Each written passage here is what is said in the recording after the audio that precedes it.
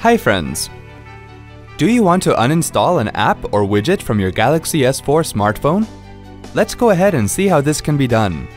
You will notice a slight difference in the screen transitions than the actual device screen transitions here. On the home screen, tap on the Apps menu to view all the apps.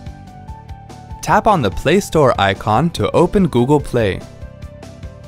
Tap on the menu key on the top left corner. Tap to select My Apps from the menu that opens. Now scroll down the screen and then tap on the app that you would like to uninstall. Tap on Uninstall and then tap on OK to confirm. Hope this was easy to follow. Thanks for watching.